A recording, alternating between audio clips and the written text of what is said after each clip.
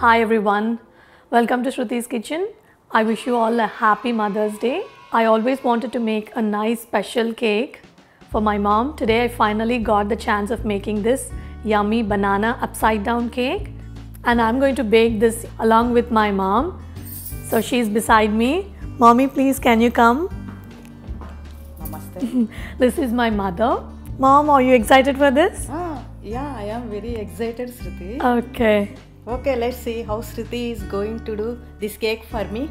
Okay, let's start the recipe. So for this we need one and a half cups of all-purpose flour or maida, quarter cup of granulated sugar, three quarter cup of light brown sugar, pack, two teaspoons of vanilla extract, half cup of milk at room temperature, quarter cup of yogurt or curd at room temperature, one third cup of oil, just a pinch of salt, half teaspoon of baking soda, 1 teaspoon of baking powder, 2 bananas. All these ingredients are for the batter. For the banana layer, we need 1 cup of light brown sugar which is tightly packed, 6 tablespoons of butter and 2 bananas.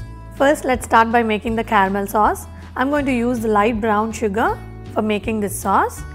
So here I got a saucepan. We'll turn on the heat to medium. So into this pan I'm going to add in the butter and the light brown sugar. We'll mix these two together and we'll let this mixture bubble up. Make sure you're cooking this on medium heat only and don't let the mixture burn. I can see slight bubbles coming up towards the edges of the pan. I'm going to turn off the heat and we'll transfer this sugar mixture into the greased cake tin. Make sure that the pan is nicely greased.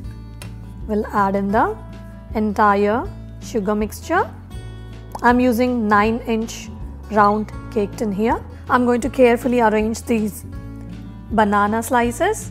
I have cut the banana into quarter inch thick slices and I'm going to place them on the sugar syrup.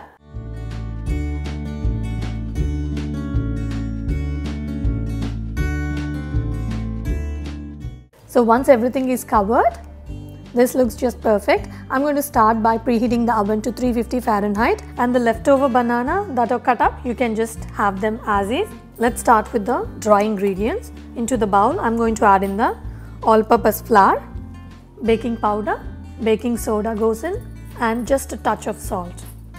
We'll combine all these together. If you want, you can even sift the dry ingredients. So once they are nicely combined, we'll now start by working with the wet ingredients. We'll keep this mixture aside. Into the bigger bowl, we'll add in the brown sugar, white sugar, yogurt or curd.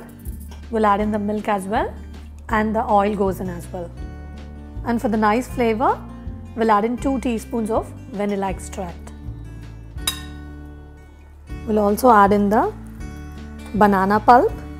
This is the pulp from 2 bananas We'll mix everything together.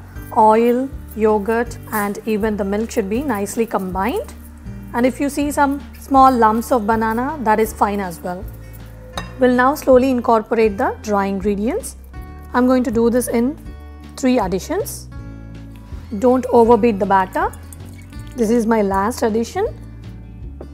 We'll carefully mix this with the wet ingredients. Everything is nicely combined. I don't see any traces of flour. I'm going to carefully drop the batter throughout the pan on top of this banana slices.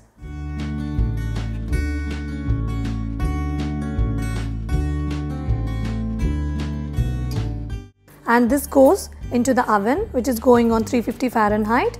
I'm going to bake this for 50 to 55 minutes or until the toothpick inserted into the center comes out nice and clean. The cake is just now out from the oven. It baked for 40 minutes exactly and when I inserted the toothpick as I said, it came out nice and clean.